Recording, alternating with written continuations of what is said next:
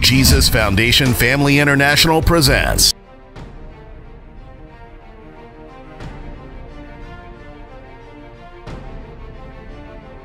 What have you been called to do? Because once you discover your purpose in life, then you will be able to know how to do business with it.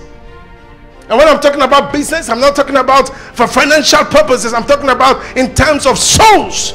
Because the business we do in the ministry is how to change people's life. How many souls have you won? How many lives have you transformed? How many people have you blessed? That is the business, that's the kingdom business.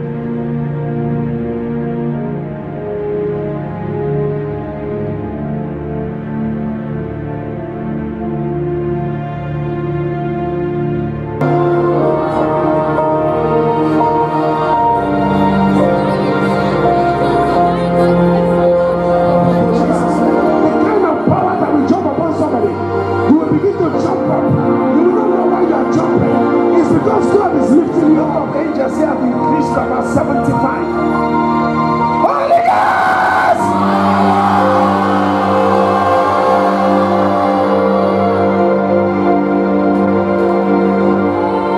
Surgical operation are taking place already.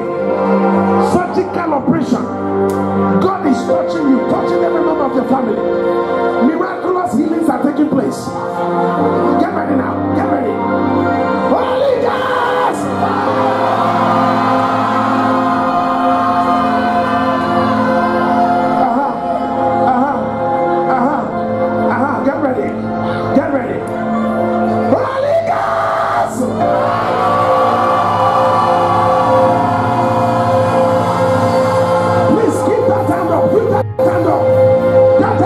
Like a conduit that's connecting you to heaven right now. Now, some people are